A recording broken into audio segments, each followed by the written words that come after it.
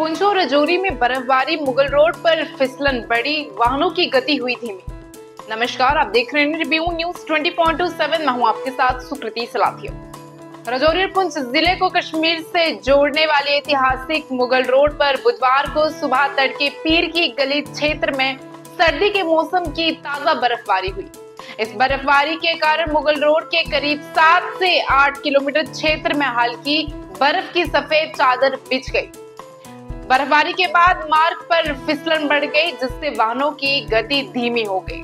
स्थानीय लोगों और यात्रा कर रहे पर्यटकों ने इस बर्फ़ का आनंद लिया, जबकि ट्रैफ़िक अधिकारियों ने सतर्कता बरतने की सलाह दी है।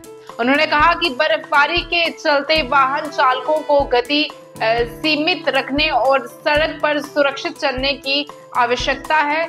सर्दी के मौसम में बर्फबारी से क्षेत्र की खूबसूरती और बढ़ गई है। लेकिन साथ ही यात्रा में बाधा भी उत्पन्न कर सकती है।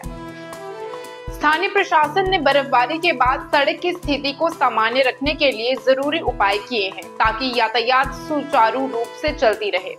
बर्फबारी की सूचना मिलते ही विभिन्न विभागों ने तैयारियाँ शुरू कर दी हैं। उम्मीद है कि मौसम में सुधार के बाद यातायात फिर से सामान्य हो जाए स्थानीय निवासियों ने इस बर्फबारी को सर्दी के मौसम का स्वागत करते हुए इसे एक प्राकृतिक सौंदर्य के रूप में देखा है।